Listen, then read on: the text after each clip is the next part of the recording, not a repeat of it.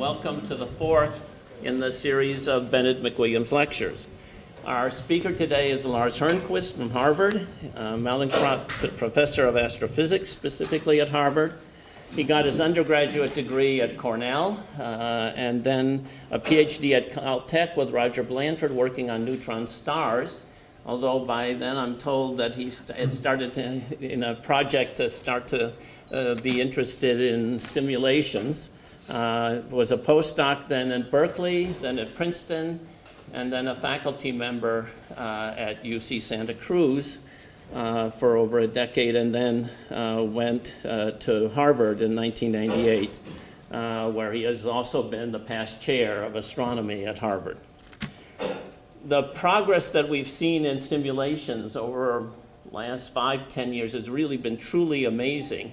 A part of that, of course, is presumably due to just Moore's law, to the increase in supercomputing power.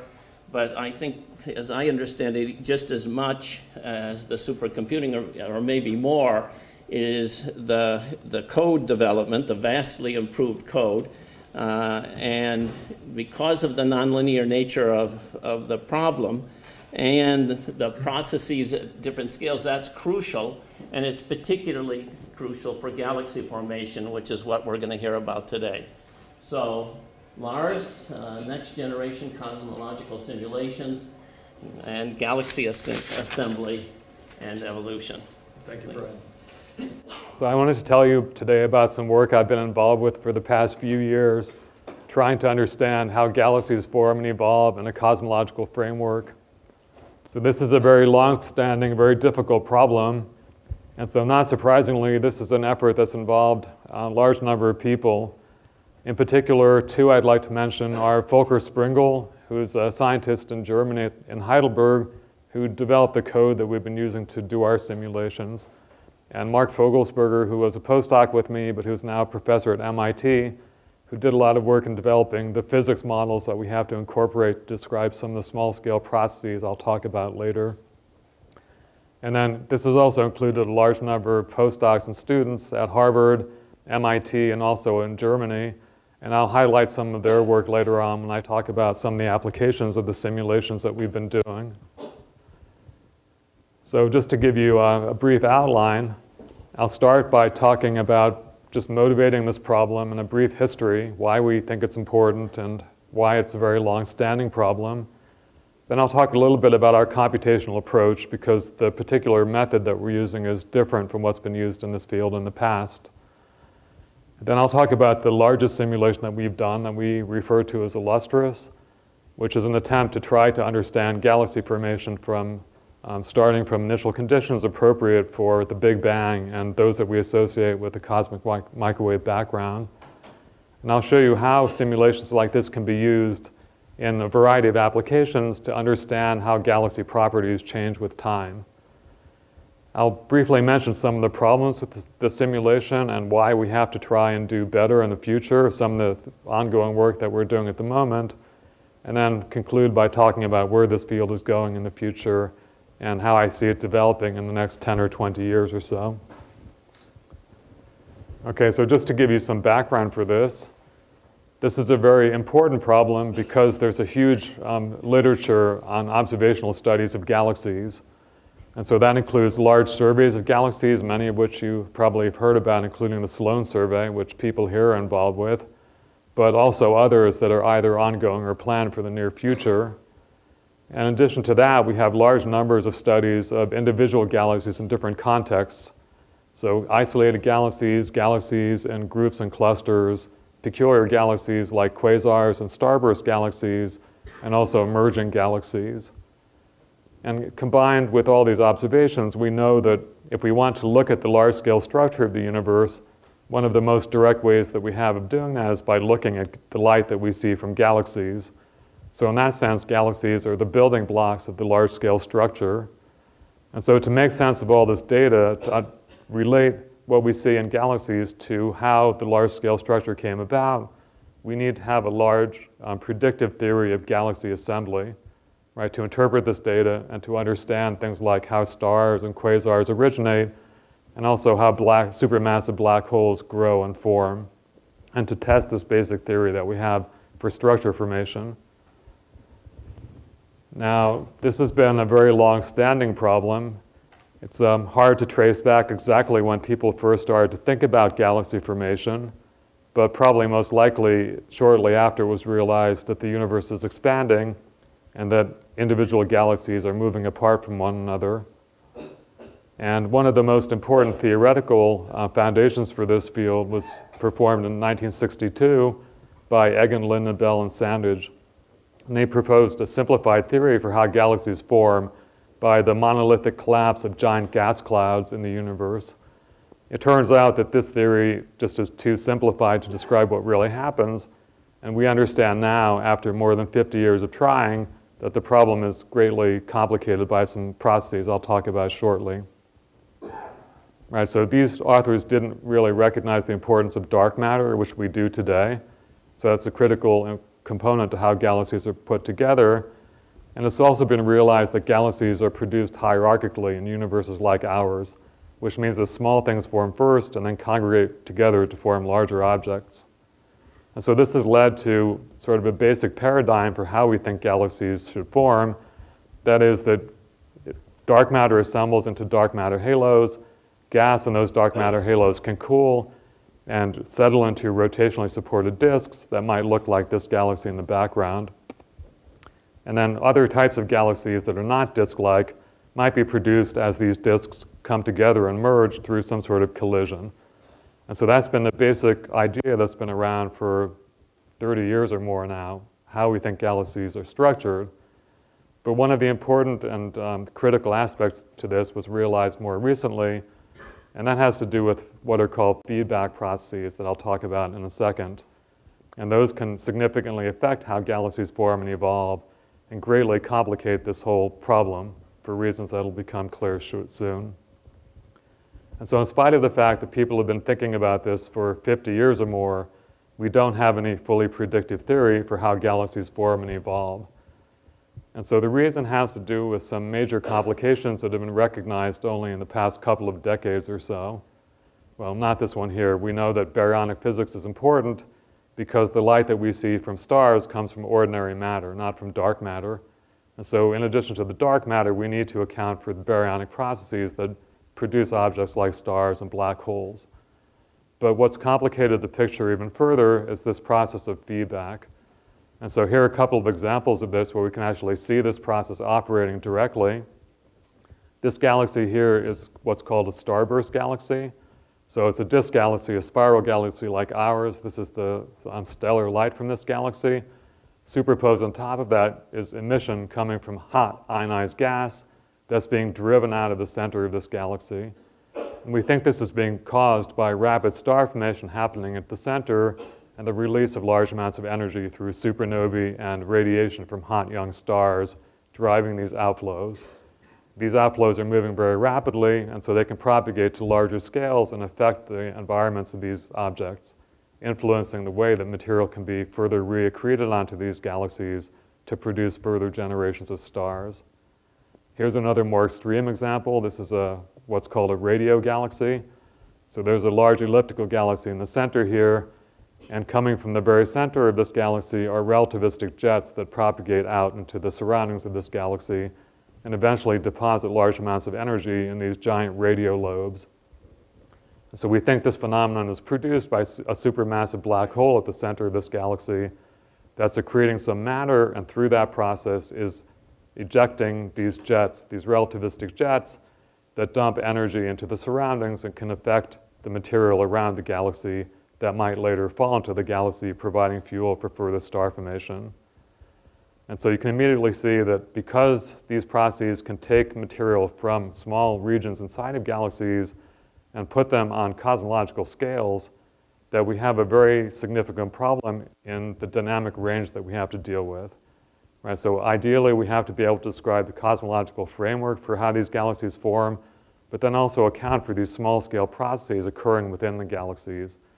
And because of this process of feedback, it means that all these different scales are coupled together. Right? So small scales within galaxies can affect the larger scales that provide the material that forms the galaxies in the first place. And this makes the problem greatly more complicated because we can't separate the problem in scales, which is kind of the picture that Eggen, Lynden-Bell, and Sanders imagined in the 1960s. That simply doesn't work. And on top of that, in addition to the scale problem, many of the physics, physical processes occurring here are just not very well understood. So we don't really understand in detail how star formation can produce these giant outflows or how supermassive black holes can produce these relativistic outflows that can affect the surroundings of these galaxies. However, there is some good news, so it's not like we're completely shooting in the dark. And that has to do with the fact that observations done over the past 20 years, especially the cosmic microwave background, have provided us with a well defined framework for the overall cosmological evolution of the universe. And in particular, what these studies have given us is a cosmological model that's very well agreed to um, by practically everybody in the field at this point. And it furthermore tells us what the universe is made out of. So it's predominantly dark matter, a small fraction of mass and baryons, and then the so called dark energy, which is mysterious but which doesn't affect small scales having to do with galaxies. And furthermore, it's also provided us with initial conditions for the kinds of simulations I'll talk about. So we have a good starting point in terms of what the universe looked like at very early times that we can put as initial conditions into a computer and evolve those forward in time to see what happens um, to the um, matter at later times. And in particular, the evolution of the dark matter in the universe is quite well understood. In the background is an image from the Millennium simulation, which is a large n-body simulation done about 10 years ago. And the dark matter, at least on these scales, interacts only gravitationally. And so the physics is relatively simple. And so given the initial state of that dark matter, we can predict that it should develop this network of uh, filamentary structures at later times. However, to actually relate this to galaxies, we need to include baryonic physics because the light from stars is coming from baryons, not from the dark matter. This complicates things greatly because that introduces a lot of nonlinear processes. There are no obvious symmetries associated with galaxy formation. And we have this very complicated, difficult problem where there's enormous ranges in different scales in both length, in length mass, and time scales. And I'll just illustrate this um, briefly in a second. And so fundamentally, because of all these complexities, this is essentially a computational problem. Simple analytic treatments just don't work ultimately. And so we need to have a numerical treatment of this, but one that is spatially adaptive and can refine the problem as material collapses into progressively more dense um, structures. So this is just to illustrate this problem of the complications associated with the baryons right? So we can predict what the dark matter looks like. That's very simple. But then we want to translate this into some prediction about what the population of luminous galaxies looks like. And so one of the difficulties is illustrated by this sketch here. So if we look at the predictions of these n-body simulations, they tell us the abundance of dark matter halos is a function of mass. And that's roughly indicated by this line here. But then if we go out and look at galaxies and estimate their distribution in mass in stellar light, then we get something like this one. And so what this is telling us is that as a function of the mass of the object, that the fraction of material which is formed into stars varies with scale. And so star formation across these different types of galaxies is not occurring at, with the same efficiency. And we think that this is related to these processes of feedback that makes star formation happen less efficiently than we would expect otherwise. And so for the most massive objects, we think that this feedback is mostly coming from supermassive black holes, and at lower masses is mostly coming from processes associated with star formation, supernovae and um, radiation fields from hot young stars. And so we need to describe those processes in some way in order to take these n-body simulations that have been done before and make predictions for what galaxies should look like coming out of a realistic model for the universe. Okay, this is just to illustrate this problem that we have with um, the dynamic range and scales. You know, so ideally, we would like to do a simulation that covers several gigaparsecs, which is the size of the visible universe, going down to smaller and smaller scales, characteristic of things like galaxy clusters that have sizes of order several megaparsecs across. But then at the same time, We'd like to be able to describe the structure of individual galaxies, which have typical sizes of something like 20 kiloparsecs. And then because of these feedback processes, ideally we'd like to do simulations characterizing what's happening on scales of order, say 10 to the minus 3 or 10 to the minus 4 parsecs. Right, so this is supposed to illustrate an accretion disk around a supermassive black hole, and those processes we know can affect the larger scale environments of galaxies and how they evolve. And so if you just start to add up all the orders of magnitude that are present here, what you find is that in order to solve this problem in full um, complexity, you'd need to be able to span a dynamic range per dimension of something like 10 to the 12th or more. And the sort of computations that we can do now, even with the most powerful methods, can only achieve a dynamic range per dimension of maybe 10 to the 5 or 10 to the 6. And so in three dimensions, we're roughly, say, 15 or 20 orders of magnitude of being um, short of being able to do an entire simulation covering all these different scales. And so what we have to do is we have to cut the scales off at some point here and describe these small scale processes with very simplified sub-resolution models. And also to cut things off on larger scales and simulate only localized regions of the universe that hopefully are representative of what's happening more generally throughout the whole universe. Okay, so I want to say a couple things about the numerical method that we're using because it's not familiar in, our, in my field at least, although it's been used a lot in other engineering applications. So we have to do simulations that account for both the dark matter and the baryons in the universe. And so the dark matter is just handled with an n-body treatment. So the dark matter is described by collisionless particles that interact only gravitationally, but that can also interact gravitationally with the baryonic material. For the baryons, we treat them as a fluid. And so we solve the equations of hydrodynamics to characterize what's happening to the gas in the universe. Because of the very large dynamic range, material will collapse from cosmological scales down to galactic scales and we need to be able to follow that accurately over many orders of magnitude. And so to do that, we're using a way of solving the equations of hydrodynamics on a grid. But this grid is very different from the kinds of grids that you might have seen in the past. And so the particular um, configuration that we use is what's called an unstructured mesh. And so here's an example of what a mesh like this would look like in two dimensions. Okay, so technically this is what's known as a, a Voronoi tessellation. And so imagine that you have these blue points here that are embedded in the flow that can move around with the flow. At any given time, there's a unique way of partitioning space up into these um, polygons in 2D such that all the points within one of these polygons is closer to this blue point than to any of the others.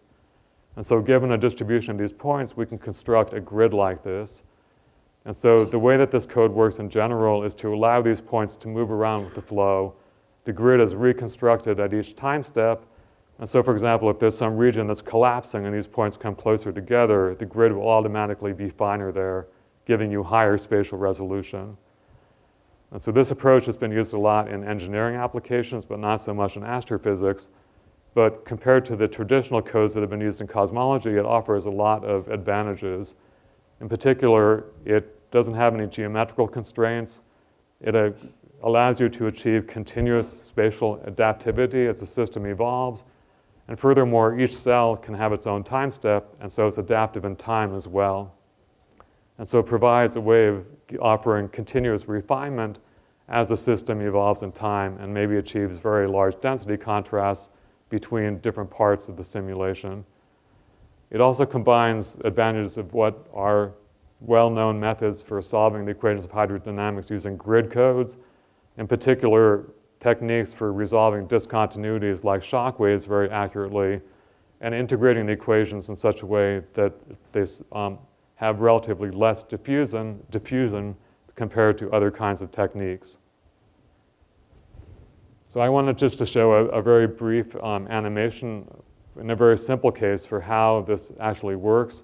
So this is a 2D shear flow. So the fluid is moving in that direction in the bottom and the top and to the right in the middle, the material in here is in pressure equilibrium vertically, but has different densities on the top and bottom compared to the middle. And so what will happen in a case like this is that these interfaces are unstable to the Kelvin-Helmholtz instability. that starts to mix the two, the different regions together. Okay, overlaid on top of that is what the grid looks like at the beginning. And I'm showing, this is a very coarse simulation just so you can see what happens to the grid as the fluid starts to evolve. Okay, so as the fluid moves, the grid goes along with the fluid in the direction of the flow.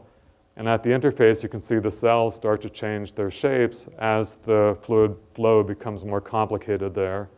And in those regions, they develop these um, rotating patterns that look like eddies that start to mix the fluids together, which is why the colors change, intermediate in density to the red um, higher density material and the blue lower density material. And so this is a very crude simulation, obviously, because the resolution here is so low, but it gives you an indication of what happens to the grid in a case where the fluid is in motion. Now, cosmologically, we deal with much more complicated structures. And so these are showing a set of um, very high resolution simulations of an individual galaxy forming. This is early in the history of the universe. And so the galaxy is being assembled here at the origin. And so these three um, simulations were just done at different resolutions. And so what you can see here in um, the top panels are slices through this three-dimensional grid, just so you can see what it looks like, increasing the resolution on average by a factor of two, going from here to here to here.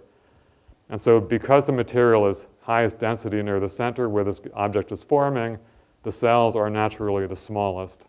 And so that's how we achieve this um, adaptivity and resolution, this grid automatically gives you higher spatial resolution where the matter is more concentrated. And so that's a significant advantage for um, cases like this, because in cosmology we have this huge difference in densities between the high density regions and the low density regions. And so we need this capability to be able to follow the material from very large scale regions down to the point where it can collapse into galaxies and start to form stars. Okay, these panels here just show the temperature distribution of the gas surrounding these galaxy, these objects, um, where red is high temperature, blue is low. And so you can see it's a very complicated uh, multi-phase medium that is feeding gas to the center, allowing the gas to collapse there to um, form a, a growing galaxy. Okay, so in addition to this numerical approach, we have to adopt some choices for the physical processes that we know are important. And so we account for a number of different things. And if anybody's interested, I can go into more detail later, but I just wanted to give you sort of an overview of what we need to account for. So some of these things are well understood. So gas that collapses into these high density regions can radiate and cool. And so we, this is very well understood as just basic atomic physics, accounting for primordial cooling rates due to hydrogen and helium, and also due to um, cooling due to metal elements that are injected into this gas as material is thrown out of galaxies by star formation. We also have to have a, a model to describe stellar evolution. And so we have a prescription that allows us to convert gas into stars at some rate, which is constrained empirically. And then those stars evolve in a way that's consistent with theories for how stars evolve and uh, produce material that is thrown off into their surroundings. And so, um, in addition to stellar evolution, gas recycling from stellar evolution dumps um, chemically enriched material into the gas around the galaxies. Right, so initially the material in the universe was just hydrogen and helium, but through um, nuclear reactions in stars, heavier elements are formed. And some of those heavy, heavier elements can be deposited into gas around star-forming regions and then gas around galaxies through galactic winds, for example. And so these things we have a pretty good understanding of. However, there are a number of things that we don't understand very well that need to be included and furthermore cannot be resolved in simulations that are done on cosmological scales. So for example, this includes the structure of star-forming gas in galaxies, which is very complicated and not particularly well um, understood how that comes about, exactly how gas turns into stars and stars form from that gas, feedback that I mentioned earlier due to supernovae and stellar evolution. Those are important in driving outflows from galaxies. The um, growth of supermassive black holes in the centers of galaxies, we think that happens mostly through accretion of gas from their surroundings, but we don't ex understand exactly how that process operates. And then we don't understand how energy from that process can be tapped to affect the properties of galaxies on larger scales, this process of feedback from active galactic nuclei. So in our simulations, we have to make simplified choices for these things that I can talk about later if anybody's interested. And I want just to mention in particular, this one here is probably the most uncertain and also the most important for higher mass galaxies. And to characterize this, we've adopted a two uh, phase approach to how this feedback might operate depending upon the accretion rate onto the black hole. So if a black hole is growing very rapidly, we assume that it's um, going to describe something like a bright quasar, whereas if it's growing, um, accreting mass at very low rates, then we have a model to describe the propagation of these radio jets and the influence of these radio jets on gas surrounding the galaxy, hopefully to prevent that gas from cooling and collapsing into the galaxy. And so these feedback processes have some motivation, but they're highly uncertain, and we implement them in these cosmological simulations as simple sub-resolution models. And so these are the greatest uncertainty in the kinds of uh, results I'll be talking about later. Okay, so I want to start talking about some of these uh, largest simulations that we've been doing, which we refer to as Illustris. And if you're interested, we have a website that describes the simulations, and we've made the data publicly available, as I'll talk about later. And so you can log onto this site and play around with the data or download it if you want to. And so these simulations were done with this um, moving mesh code called AREPO that Volker Springel wrote that I mentioned briefly earlier. And we implemented the physical processes in the matter I just described, and the details can be found in this paper by Mark Vogelsberger. And so to do these simulations, we set up some initial conditions in the very early universe, um, just after the Big Bang. And these initial conditions are chosen to be consistent with what we, we believe to be true from studies of the cosmic microwave background. And so we take these initial conditions, which have dark matter and gas, we evolve them forward in time, accounting for these physical processes that are incorporated according to these sub-resolution models. And then we evolve these to redshift zero and examine what sorts of galaxies are formed and how they compare to actual systems. And so the largest simulation I'll talk about today, we have larger ones planned even. This one was a, a volume that was 100 megaparsecs across. It used a WMAP 9 cosmology consistent with recent observations of the, the cosmic microwave background. This simulation started off with 1,820 cube dark matter particles, which remain the same throughout, and initially 1,820 um, cells to describe the gas. But that number changes as some of the gases turn into stars, and then we produce collisionless particles to describe the stars and galaxies. And so in total, at least initially, there were more than 1,200 billion resolution elements. And this is a very computationally intensive problem, both in terms of um, CPU requirements and memory. And so the simulation needed um, 25 terabytes of um, memory to um, perform it. And with this, these choices, we can achieve resolution on the order of a few hundred parsecs. So it's good enough to describe the structural properties of galaxies, but of course, we can't say anything about, say, internal regions within galaxies where star formation is happening. And so this particular largest simulation took about 20 million hours running on about 10,000 cores simultaneously. But we have even bigger simulations in this plan for the near future. Okay, so I wanted to start by showing a couple of animations from this simulation. So the first one will show an evolution in time of a subregion of this um, simulation. And as the system evolves, it'll show different constituents um, that are present in the simulation volume. Okay, so the time here since the Big Bang is shown. So this is just about a billion years after the Big Bang, and we evolve it to the present day. And so this is just showing the distribution of dark matter, what that looks like. So because of the nature of the initial conditions, the dark matter collapses into these um, connected filaments that provide regions where galaxies can start to form. Soon this will transition to showing properties of the gas that's present in these, um, the system. And what you'll see there is that as feedback starts to operate, we can start to see it now, so showing the gas density, um, the, effect of feedback is to drive these powerful outflows from galaxies particularly through the different forms of feedback from supermassive black holes. And so these resemble gigantic explosions. The extent across the entire region is about 10 megaparsecs. And so you can see the effect of this feedback can propagate to scales many megaparsecs across in principle. And so one of the consequences of this feedback is that it deposits heavy elements into the surroundings. And in a moment, you'll see this will transition to showing the gas phase metallicity of the material. And so that accounts for all elements heavier than hydrogen and helium.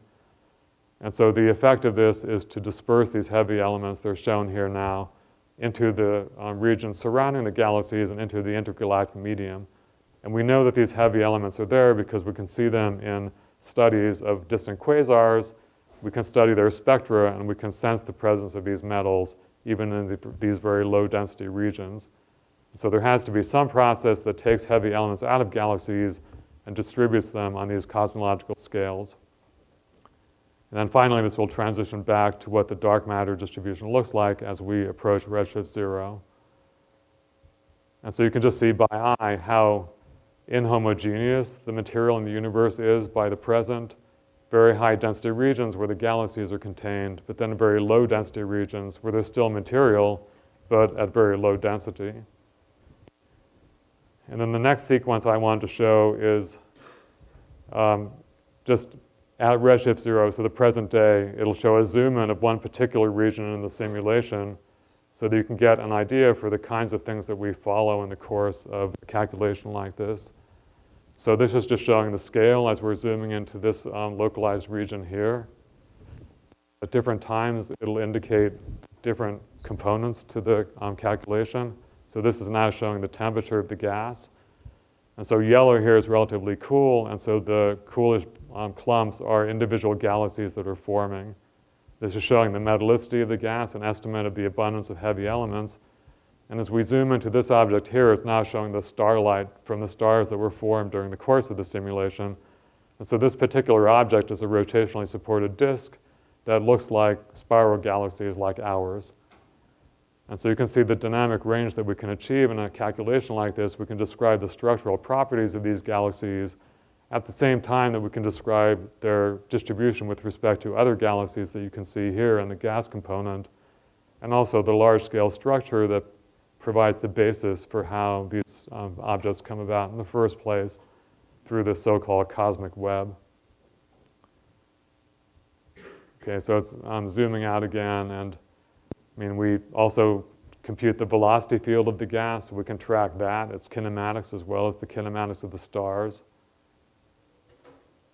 And this is going back to the dark matter density now in this region at redshift zero. You can see it's this interconnected web, web of filaments um, that has a very large density range. Okay, so before I mention some of the applications, I wanted just to talk about the output that comes from these sorts of simulations. And so here's just a you know, representation of the kinds of things you can use a simulation like this to calculate. And so this part of the um, diagram here shows a slice through the simulation volume. The upper part underneath all these insets shows the distribution of dark matter there, where it has this filamentary structure. And then going into the lower part, it shows the gas density. Of course, the gas and the dark matter are intermingled, but this just gives you an idea of how the gas is distributed compared to what the dark matter would look like. But then in addition to these sorts of properties, we can also trace the formation of galaxies and their starlight so if you go to this very high density region in the center, the object at the center of that in stars looks like an elliptical galaxy. Whereas if you go to a lower density environment in the outskirts, the galaxies there tend to look more like ours does, okay, rotationally supported disks, spiral galaxies. Since we also track detailed properties of the gas phase, we can make predictions, for example, for the X-ray emission coming from diffuse gas in this um, high density region, as well as estimates for the effect that this gas would have on the microwave background through the Sunyaev-Zeldovich effect. So a simulation like this offers many ways of testing the basic theory against observations because of all the observational predictions that could be made um, from this kind of data set. So one thing I mentioned earlier is that we've made the data from our simulations publicly available.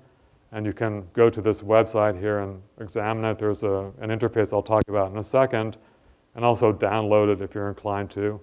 This is work done by one of my students, Dylan Nelson, who's now a postdoc in Germany.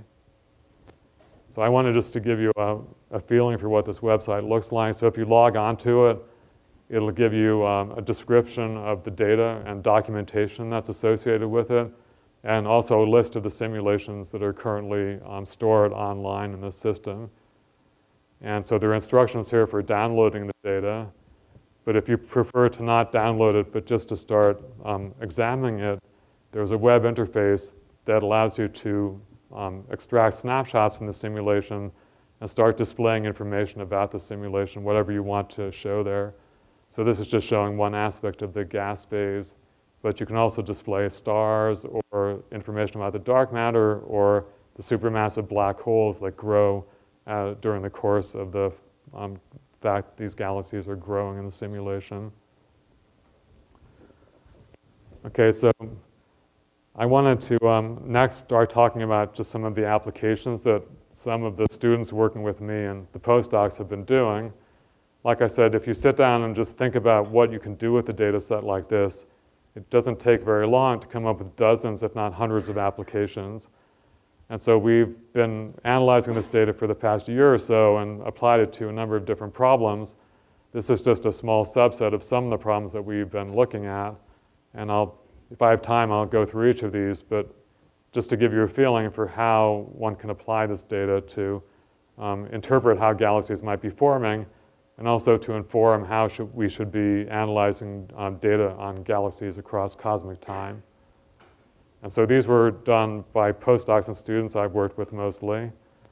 And so let me start by showing you some of the outputs of these simulations in the form of galaxies that come about. And so it turns out that we produce a population of galaxies that look realistic in terms of um, their correspondence to actual galaxies. And so this part of the panel here shows a collection of the simulated galaxies as they would appear at the present day. And so it turns out in this simulation, the galaxies have different morphologies like they do in the real universe. Most of them look like these. These are rotationally supported disk galaxies seen face on, so like the Milky Way. But at the same time, there are objects that look like these that are um, more spheroidal in nature, characteristic of these so-called elliptical galaxies. And so compared to observations, you know, this is a real elliptical galaxy, this is a real disk galaxy. We end up with objects that look similar to those in appearance. Some of the disk galaxies also have these central regions that are called bars. Okay, so linear structures at the centers of the galaxies, a large fraction of disk galaxies have features like that. So they naturally appear in the simulation as well. And we furthermore see galaxies that are more peculiar in nature that we think are due to interactions between galaxies, like these two galaxies in the real universe that are in the process of colliding with one another. And so we end up with a population of galaxies that looks realistic in terms of their relationship to actual galaxies. And furthermore, it turns out if you count the number of galaxies of each type, that that turns out to be roughly the same as in the real universe. So in the simulation, about 60% of galaxies are disk galaxies like this. 30% are elliptical type galaxies, at least by redshift zero, and about 10% are irregular, just like in the real universe. And so that's very reassuring because it tells us if we start with initial conditions that are prescribed to us from studies of the cosmic microwave background, that if we include the different constituents of the universe and simplify models for some of these difficult processes I've been talking about, through these computer simulations, we can produce a population of galaxies that looks like those in the real universe. Okay, here's another example illustrating this. So Greg Snyder, another one of my former students, took our simulation and used it to construct a mock Hubble Ultra Deep Field. And so this is comparing the actual Hubble Ultra Deep Field here on the left with this mock um, catalog that he constructed from this simulation. And you know, just looking at it like this, it's pretty hard to tell them apart. If you stare at it long enough, eventually you start to see some differences between them, and you'll be able to figure out that this is actually the um, simulated one. However, the fact that they look so similar means that the population of galaxies morphologically is roughly the same, and furthermore, their evolution in time has to be about the same because that determines the colors that we associate with these galaxies as we see them now on Earth. And so again, this is very reassuring that we're getting objects that look realistic in comparison to actual observations. But it also turns out that these galaxies often have detailed uh, features in them that look like actual systems. So here's a, an example of a phenomenon which is known as a shell galaxy. And so this is an actual galaxy, NGC 3923, which is a nearby giant elliptical galaxy. So the galaxy here is in the center. And if you look at it with very high con contrast imaging, you can start to see this set of concentric arcs surrounding the galaxy. And so we think this is produced by material which falls into this object through some sort of merger event. So a smaller galaxy was torn apart by this larger one, and as the debris from that smaller galaxy passes back and forth through the potential of this, it'll produce these arc-like features as the stars reach the turning points in their orbits there. And it turns out that in our simulation, we end up with objects that look very similar to this. So this is just an example of five of these objects at redshift zero in the simulation that show these sorts of features. And in fact, many of them, like this one here, if you look at it in very great detail, the number of these arcs, their spatial extent, and their distribution with respect to the central galaxy look a lot like this one here. And so these are detail features. There isn't much mass in these, uh, these arcs out at these large distances, but the simulation just naturally reproduces this sort of um, features, even though there was nothing in the simulation that was set up to give this sort of outcome.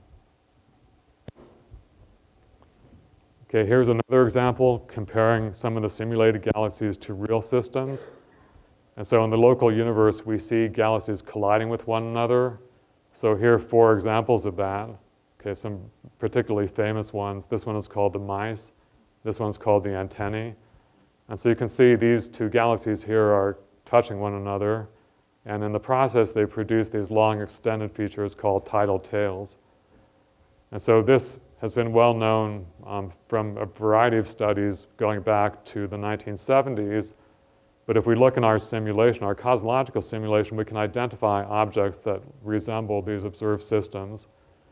Okay, in fact, this one here is not a, um, you know, looks sort of like that. And if you were to view this from a different direction, it would look very much like this one. Okay, these are all cases of galaxies that are interacting and eventually merging with one another, producing systems that look like these observed galaxies. And this is actually the first time that this has been shown in a cosmological setting like this, that one can start from initial conditions characteristic of the cosmic microwave background and produce systems that look like these interacting galaxies that we see in the present universe.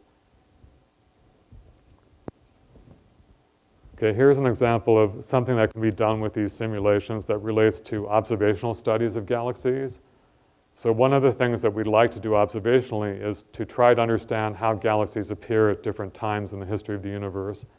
And we'd like to ask, what did our galaxy look like, say, 5, 10 billion years ago? Of course, looking at galaxies observationally, we, only, we can see galaxies only at only one particular time. But what we can try to do is take a galaxy, say like ours, look at galaxies at earlier times in the history of the universe, and try to pick out ones that might be analogs to what our galaxy looked like at those times. And so observers have tried to do this in the past. We're using very simplified assumptions that would allow them to relate galaxies at different times in the history of the universe to one another. And in particular, one of the assumptions that's been made is to imagine that you can take galaxies at any given time, rank order them according to some property, and that that rank ordering will be preserved throughout cosmic time. So for example, imagine we take the 10th most massive galaxy and stars at the present day. Then this prescription suggests that if we go to some very earlier time, like redshift 2, we do the same rank ordering, that the 10th most massive galaxy and stars at that time should correspond to the 10th most massive one at redshift 0. And so we can use the simulation to check to see if this assumption makes any sense or not. And it turns out that it doesn't work at all. And the reason for this is you can illustrate, this is from the simulation, so this is showing um, five different galaxies. This is at redshift zero and what they look like at earlier times. This is showing what, how they evolve according to their stellar mass. So at the present day, they were all quite close together. They all had about the same mass in stars. But if you trace them backwards in time, you can see that they're all over the place. And so it doesn't make any sense to imagine that these galaxies here corresponded to galaxies that all had about the same stellar mass at earlier times. And there are a number of reasons for this. One is that galaxies can merge with other galaxies, like this one is doing right here. And so that would abruptly change its mass and stars. Also, the star formation rates within galaxies are not uniform. They can vary stochastically, depending upon the rate at which material is being delivered from the outside onto the galaxy, allowing the galaxy to form new stars. And so this assumption of rank ordering just doesn't make any sense at all. But what we can do from the simulations is to look at how galaxies actually grow in time and see if we can come up with some better assumptions for how to relate galaxies to one another at different epochs. And so here what we've done is to take galaxies at redshift zero, so the present day, in narrow mass intervals and ask what did they look like at earlier times. And so these colored regions show the range that the galaxies occupy in stellar mass going back to redshift 3. So you can see that there's a large spread of roughly almost a factor of 10. And furthermore, these solid black lines are how they should have evolved if you assumed that they preserved their rank order and stellar mass. And you can see that that does a very poor, um, well, does a very, give a very poor approximation of what actually happens. There's a systematic offset by something like a factor of two, and then there's a large spread that that assumption would not account for. And so what we're doing now is trying to use these simulations to come up with more um, definite and more uh, illuminating ways of predicting how we should relate galaxies at different times to one another and see if we can do better than these um, assumptions that people have been making in the past, which obviously don't work very well. Okay, here was another interesting application where we used the simulation to look at the distribution of stars, not just in galaxies, but in the halos around the galaxies. So here are a couple of examples from the simulation. So this is showing um, at redshift zero the distribution of dark matter in one of these high density regions. And so this object had a mass of around 10 to the 13th solar masses, which, which is characteristic of a group of galaxies. This one here, the dark matter mass of the halo is about 10 to the 12th solar masses, comparable to the Milky Way. And so this is showing the distribution of stars in these regions. As you can see, most of the stars are concentrated in high density regions, well, the high density objects that would be the galaxies, but there's also a lot of diffuse around that can come about because when galaxies collide with one another, they can strip off stars, and some of those stars will have large energies that would make them no longer bound to the individual galaxies. And so in addition to the stars concentrated within the galaxies, the galaxies typically have these halos of diffuse starlight. And so one of the interesting things we found is that the properties of this distribution of diffuse stars is correlated with the mass of the underlying dark matter halo. Okay, and that's shown in these panels here. So the dark um, lines are the density of dark matter from the center of this region outwards. And if you look at this solid black gray line here, it shows the distribution in density of these diffuse stars. And so if you compare these two, you can see that here the um, stars fall off more gradually than they do here, where they suddenly drop. And so you can quantify this by measuring the slope of this density profile in the starlight between a couple of radii, in this case, um, some fraction of the virial radius going out to the virial radius itself. And so what we did was to measure that slope, and it turns out that it's correlated with the mass of the underlying dark matter halo. So um, lower mass objects, galaxies down here, the starlight, diffuse starlight drops off more quickly with radius than for more massive objects. We think that has to do with the frequency of mergers that occur in these systems the ability of these mergers to strip off starlight and populate these diffuse halos. And so what this means is that if we can measure observationally the distribution of these diffuse stars around galaxies, gives us an independent way of constraining the dark matter halo mass that can be um, only crudely in, um, gotten in, in certain situations, but that in other cases could be correlated with other measures of what the dark matter uh, mass would be around these galaxies. And so we would have a luminous probe that would allow us to say something about the distribution of dark matter around these galaxies. Okay, another thing that we can do with these um, simulations is to estimate, for example, the rate that galaxies merge with one another. And so this was done by Vicente Rodriguez Gomez, um, one of my current students. And so in these simulations, we track, in addition to the dark matter, also the stars that make up the galaxies. And so we can measure the rate at which the galaxies are merging, like in that image I showed you earlier. And so what this shows is the rate of galaxy mergers between galaxies that have roughly the same mass as a function of redshift, so going down to the present day. And these different colored lines are for different mass bins, so including both low mass and high mass systems that are merging with other galaxies of high and low mass of comparable mass. And so what this tells us is that this major merger rate evolves fairly strongly with redshift. So it was much higher in the past than it is at the present time. But it doesn't seem to vary much with galaxy mass because these colored lines are practically overlaid on top of one another. And so people have tried to do estimates of this in the past, both observationally and theoretically. And so here are some observational attempts to estimate the rate that galaxies are merging with one another. And so you can see the points with error bars are the um, observed estimates. There's a lot of scatter, but the um, simulation result that's shown with this black line roughly goes through the data points, but again with a lot of scatter. And so the results of the simulations for this quantity agree reasonably well with what comes out of the observational studies.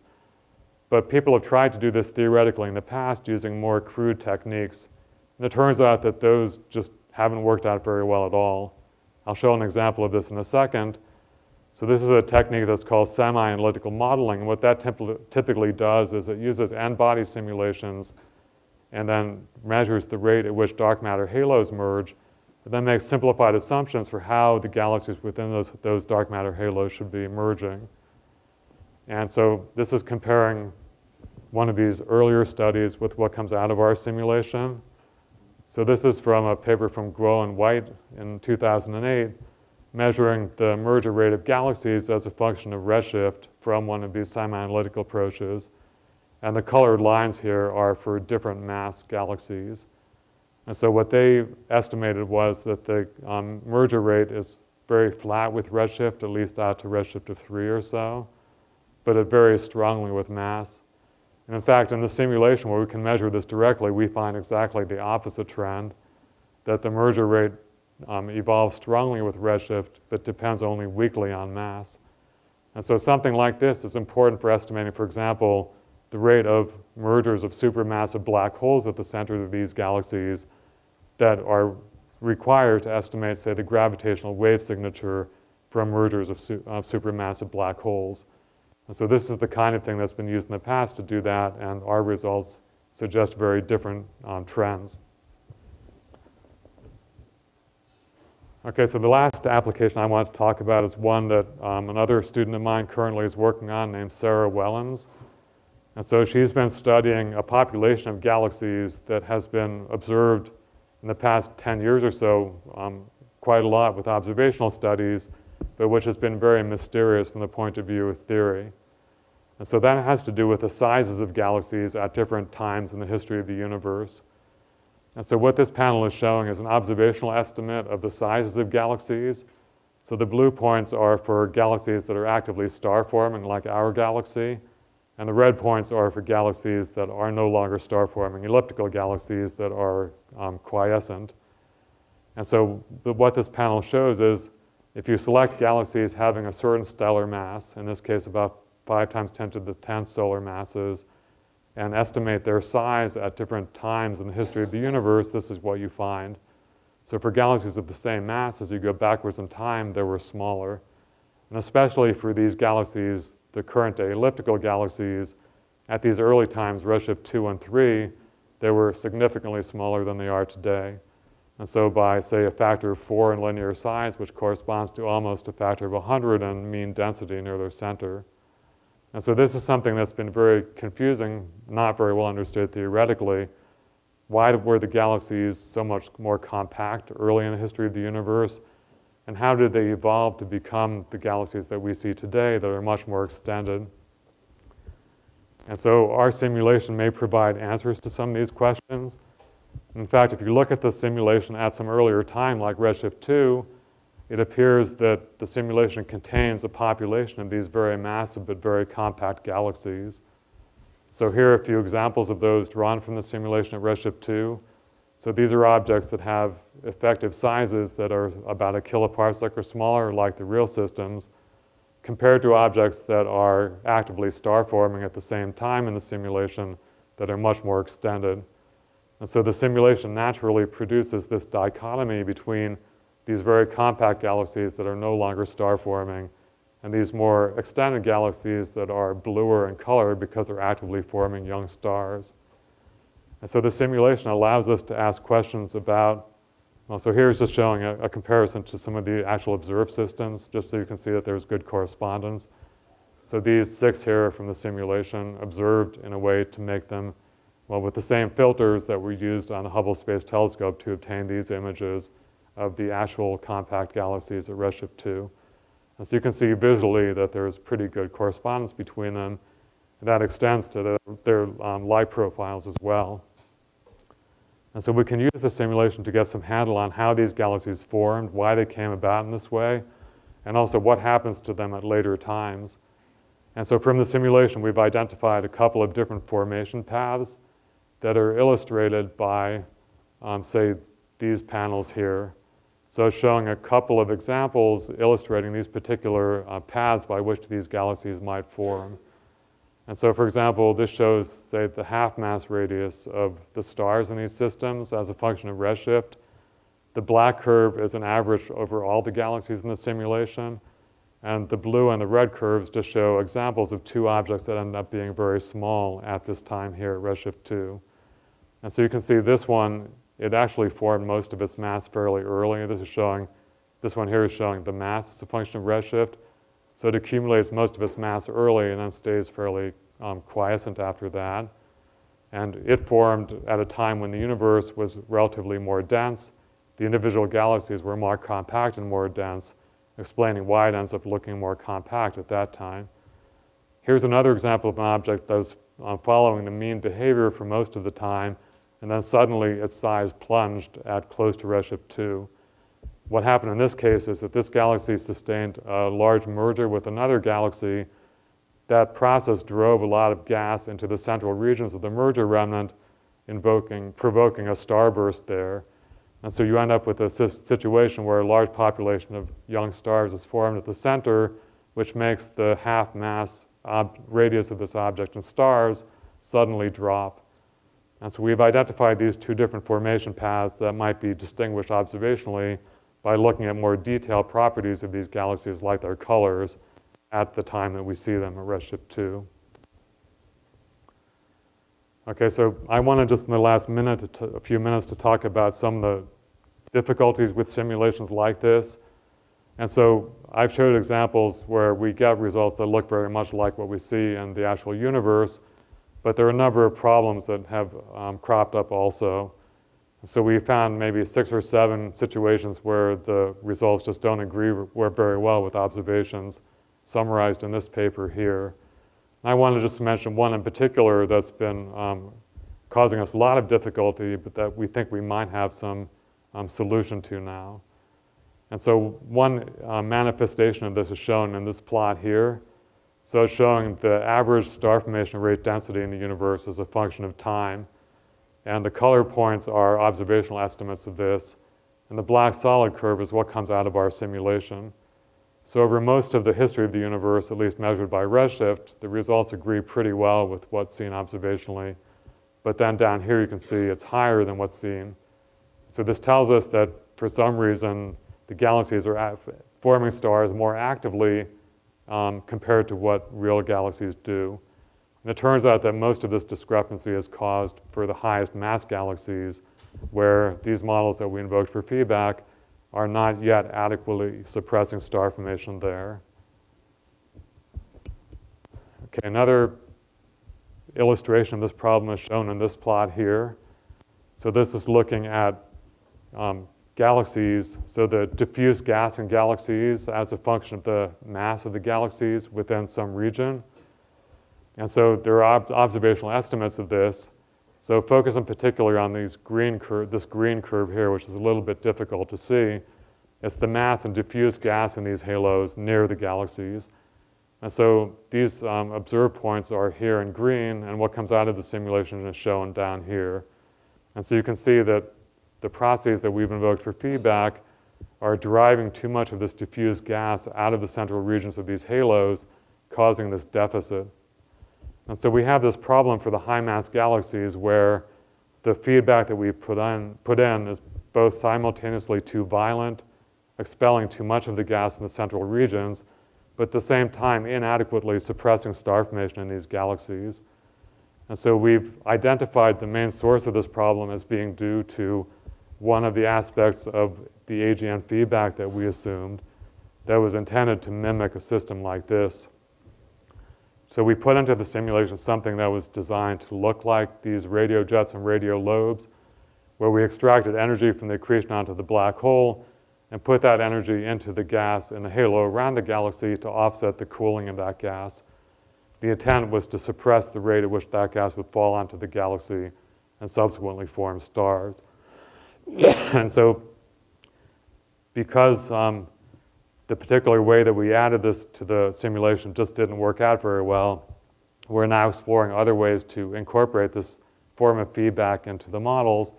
We think we have something now that works a lot more efficiently, which is basically a smaller scale version of this, where these radio jets get trapped in the center of the galaxy and deposit momentum to the gas within the galaxy itself, rather than propagating into the halo of the galaxy and affecting the accretion of gas onto the galaxy indirectly.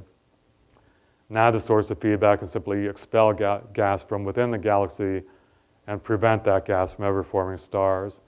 And so our preliminary test of this suggests that it should work much more efficiently and should give results in the future in even better agreement with observations than the ones that I've been telling you about. So to finish, let me just mention where this work is going in the future. So we have been devising slightly more refined models for some of these processes like feedback from star formation and um, active galactic nuclei. And so we are currently running a new version of this big simulation that, well, I should have um, removed this, so it hasn't quite finished yet. So um, this particular attempt to do this actually had some residual problems that we've only now just fixed. And so we're um, currently restarting the simulation, but we hope that it should be done in a matter of a few months. And we have good reason to believe that this simulation will provide a better match to the observations than the ones, um, the results I've been telling you about today. We've also included MHD in this simulation so we can track the growth of cosmic magnetic fields and how they appear in galaxies of different types and different masses. Then beyond that, what we want to do is to refine the models somewhat further, um, improve the performance of the code, and start to do even bigger simulations that will be done in roughly the next year. So we're planning to do a smaller volume simulation, a much higher resolution, so about 20 times better mass resolution, so we can characterize even lower mass galaxies better than we have up, up to now. Then a second simulation on a much larger volume that would allow us to describe much uh, more massive objects that are much more rare, like large galaxy clusters or very rare objects like bright quasars. But in the much longer term, I think the future of this field is to combine together simulations like this with simulations across different scales where we can actually study the complexity of some of these smaller scale effects that we're only approximating now, like how star formation and feedback from star formation can drive galaxy outflows and the process of the growth of supermassive black holes and extraction of energy from that process through some um, mechanism like these radio jets. But of course, a major difficulty in this will be coming up with well-defined ways of combining results from simulations across different scales and allowing these simulations to communicate with one another. And so I think that will be ongoing for quite a long time, but that's the direction that the field has to go in to resolve some of these uncertainties, mostly having to do with these small-scale processes that I've talked about. So just to conclude, I think this way of doing the hydrodynamics with these moving meshes offers a lot of advantages over the kinds of approaches that have been used before to study galaxy formation cosmologically. And the initial work that we've done shows a lot of promise, but also a number of limitations that we're working to try to improve upon. And so even though we've now, um, more than 50 years have passed since this seminal study by Eggen, Lynden-Bell, and Sandage, I think this problem is still unsolved in detail. And it's unclear to me exactly how much more time will be required. There's a lot more work to be done, especially for younger people in the audience. I think this is a very interesting field to think about going into because it does have a long life ahead of it with many interesting problems still to be studied. And exactly how long this will take is not clear, but I hope it's not this much since I'd like to be around to actually see this. Thank you.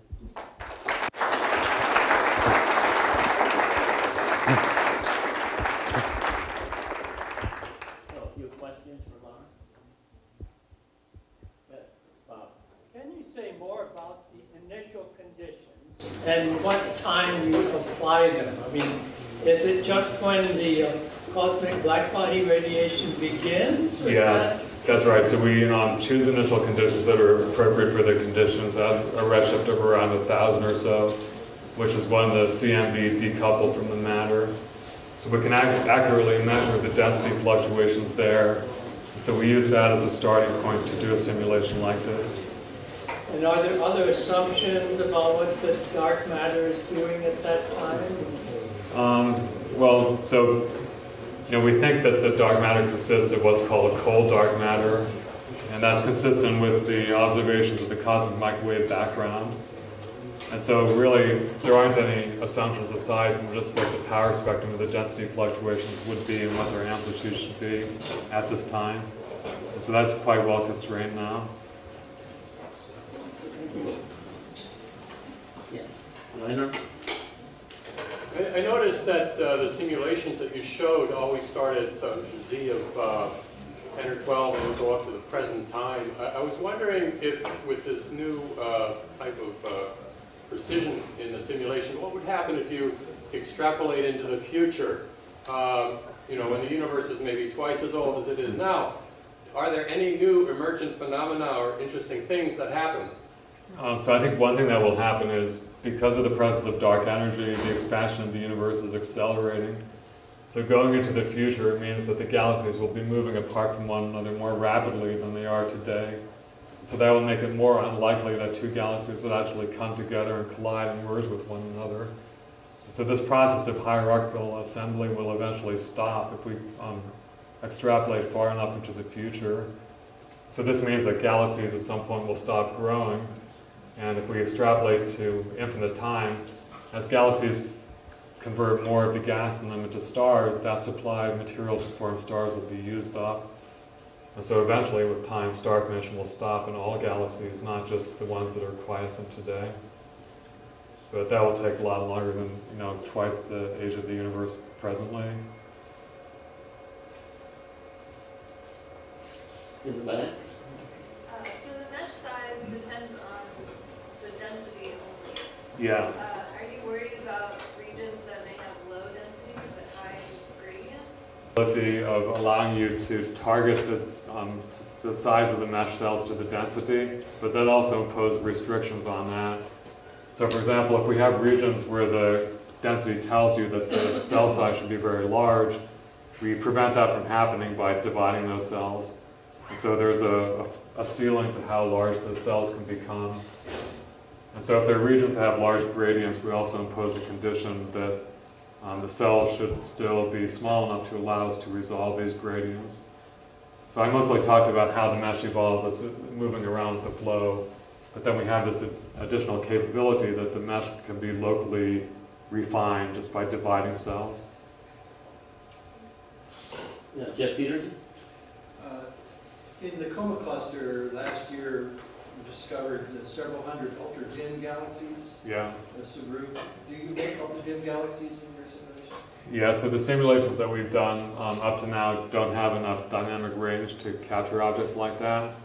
So the mass for stellar particles is about 10 to the 6 solar masses. So in this particular simulation, the smallest galaxy we can actually describe accurately is probably like 10 to the 8th or 10 to the 9th solar masses. But in the future, with higher resolution simulations and zoom-ins of um, you know, localized regions of the universe, we can achieve much higher resolution and address questions like that. But at the moment, I can't say anything about that.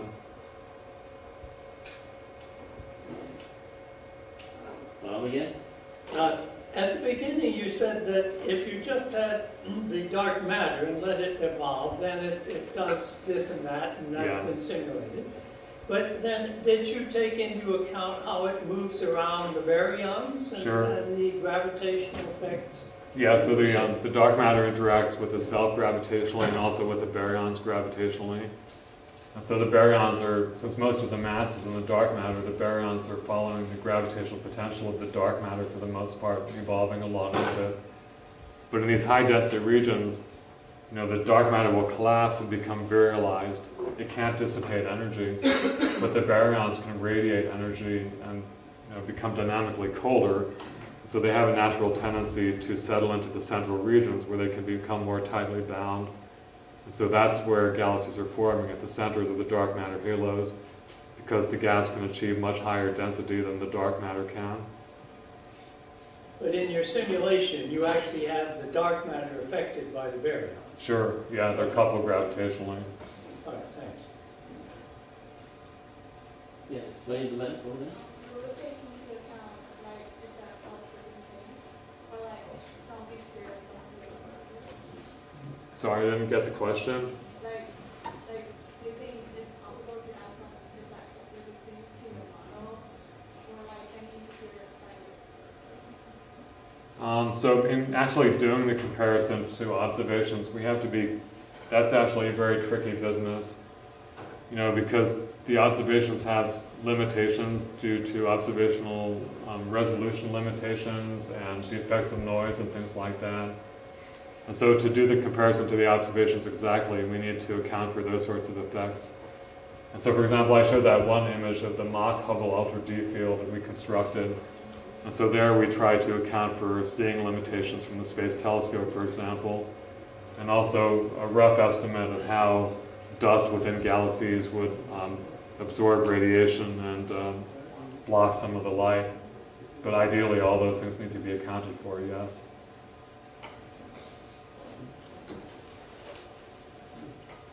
We should, uh, one more and then, go ahead. what are the boundary conditions at the edge of this box? So it's a periodic volume. So we're imagining, right, this is obviously a, a limitation, but we're imagining that the universe is an infinite replication of these volumes, these subvolumes that we're simulating. And provided the region is large enough, that's not a very serious limitation. The main limitation is that if you have um, objects that are very rare, like large galaxy clusters, the chances of finding such a thing in a small region like this are very small. So that limits the um, range over which we can actually describe you know, large objects, just because a region like this wouldn't contain very many of them. But computationally, the volume is assumed to be periodic. Let's thank Lars again.